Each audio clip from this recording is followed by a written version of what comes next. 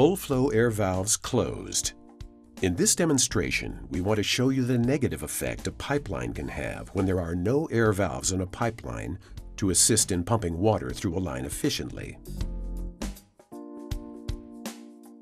Watch what happens to the flow of water as we start the pump. Notice how the line fills partially with water.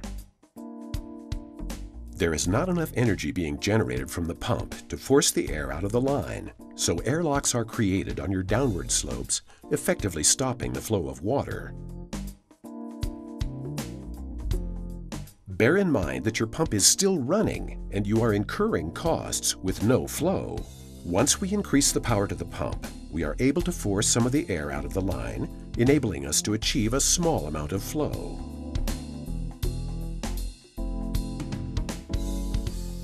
Notice how the downward slopes are practically empty as some flow is achieved.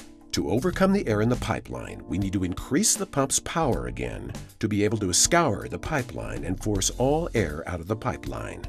This is achieved at a massive potential cost to the client.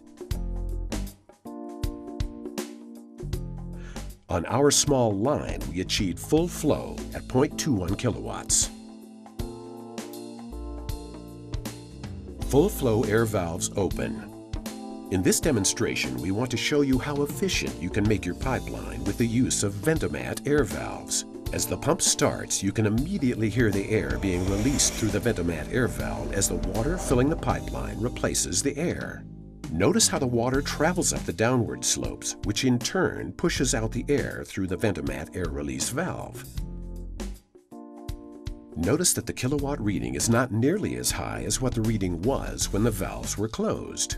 In fact, the reading is 0.1 kilowatt, which is a massive 50% saving on energy costs over the pipeline with the valves closed. Vent-O-Mat, the world leader in air valve technology.